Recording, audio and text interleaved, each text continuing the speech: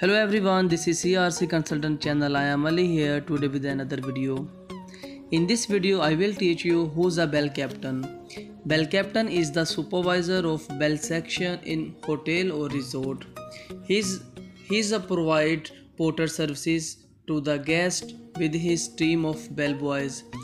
Bell desk is situated in the lobby area and also bell captain he's a make duty roster for uh, our bellboys and he's the one arranging the transportation for the guest. And second question what does a bell captain do?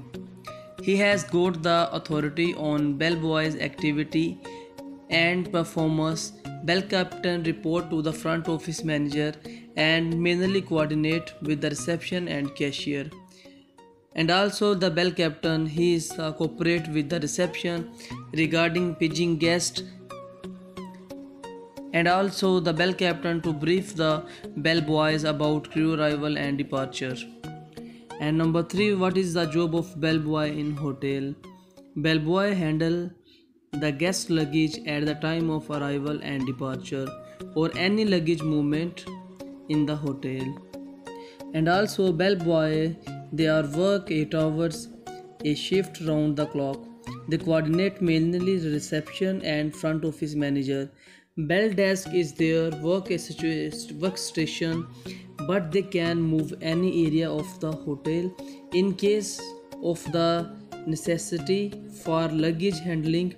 There must be someone at the bell desk the time of meeting the guest services at any time and for example the bell uh, the bellboy is also arranging the transportation for our guest.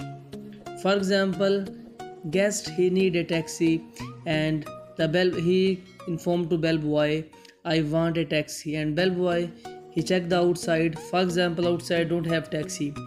And he informed the guest sir have a seat. I will arrange taxi for you. Give me few minutes and after that bellboy he's arranged the taxi and guest he's waiting in the lobby area. After arranging the taxi bellboy he informed the, the guest sir your taxi is outside and now this is also duty bellboy.